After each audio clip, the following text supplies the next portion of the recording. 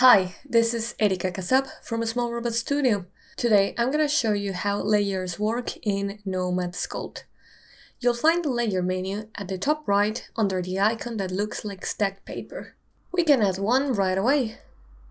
For those with a 2D background that maybe work on Procreate or similar, this other menu could be misunderstood for layers, but it's not. This is a list of objects in your scene, which you can separate by mesh individual geometries or by grouping them together. Anyway, in 3D, 3D layers will record position offsets or painted materials. For instance, I can change the character expression or even paint on top something, and the layer will record this information independent from the base. By the way, layers are not available for primitives. You will have to validate them before you can add a layer. Layers allow me to work non-destructively. In other words, you can make changes to a sculpt without overwriting the original data, which remains available in case you want to revert it. Let me elaborate to make this clear. Normally, every change we make means that a previous step gets deleted from the undo history. Sure, I can go back several steps, but as soon as I make a new change, the work ahead is overwritten. This is known as a linear or destructive workflow. This is where layers have an amazing value. At any point, I can go back to the base layer to make adjustments and easily bring back what I worked on in a layer. Great whenever you are detailing, like adding wrinkles or pores. One of my favorite things about layers is the intensity control, this yellow bar. It allows you to tone down any change that you just made. The rest of the buttons are pretty straightforward and the eye will turn on and off the layer. The arrows will allow me to change the position, the way in which they are stacked. This pencil will let me rename them. Of course, the rubbish bin will delete them, these two papers will duplicate them, and this last one will merge the top one with the bottom one.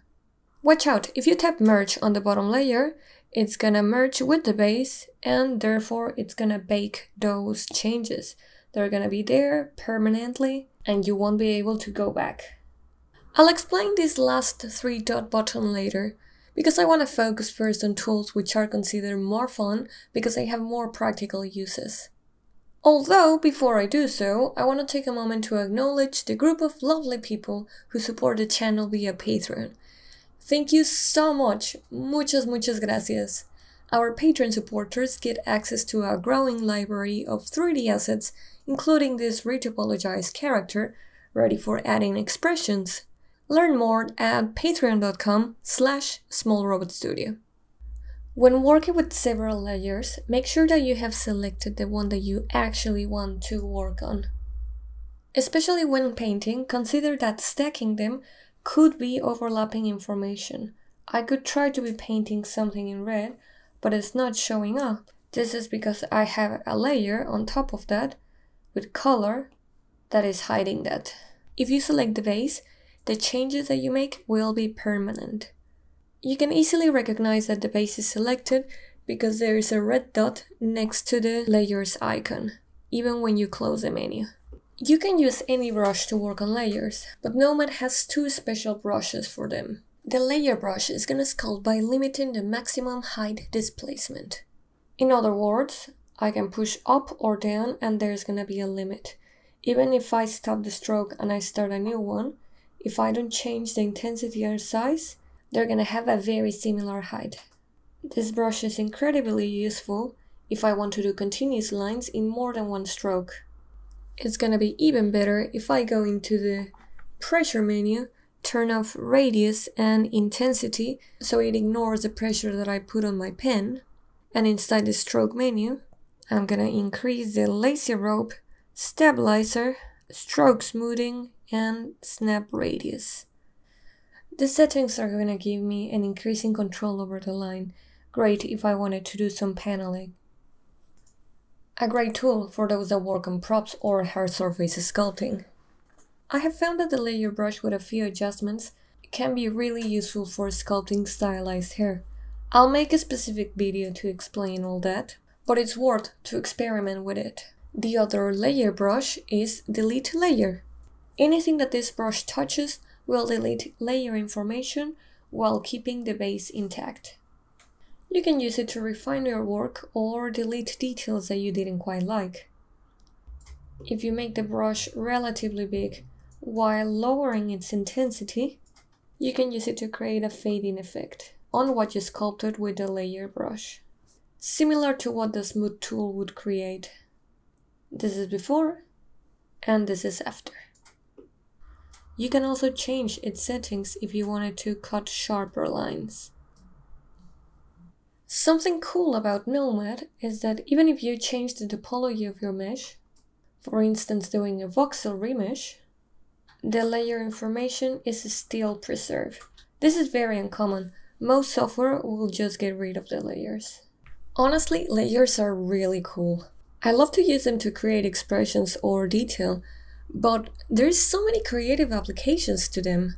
I was recently impressed by the techniques that Zen from the channel Zen Art Design uses. She breaks objects, she creates stylized explosions, and even export those into Blender to convert them into animation. It's really neat. I've included a link to her channel in the description below. Finally, I'm gonna go back to the Layers menu and explain these three dots that give you access to some advanced features. The top part is gonna give you intensity control of each channel. For instance, this layer recorder the position of the fur, color, and roughness information. If I bring down the position slider down, it's gonna disappear those changes that are made, or if I get to negative values, it's gonna push them inward. Maybe I wanna keep the color, but I wanna get rid of this polished shiny look. In that case, I'm gonna go into the roughness channel and bring down this intensity slider. Or if I want a subtle color, I can bring this slider down. If you use the main slider, it's gonna turn off all the channels at the same time. This bottom portion is gonna let us extract as a new mesh anything that we sculpted in a layer. This is gonna be an independent geometry in the scene menu. Depending on the closing action that I choose, is the result that I'm gonna get. By tapping on the question mark, you can get a brief explanation of each, but I also recommend, of course, experimenting with them. So yeah, these are layers in a nutshell. I hope you found this overview helpful. I'm always excited to hear about creative ways in which you can use all of these tools. And I love to see your work, so feel free to share it via social media. I'll see you soon and happy sculpting! That's it for this tutorial. If you find it useful, make sure that you leave a like so other people can find it. And if you haven't already, make sure you subscribe, as we are bringing out CG and illustration tutorials every week. Become a patron and access tutorial assets, bonus content, a private Discord, and more by clicking in the link below.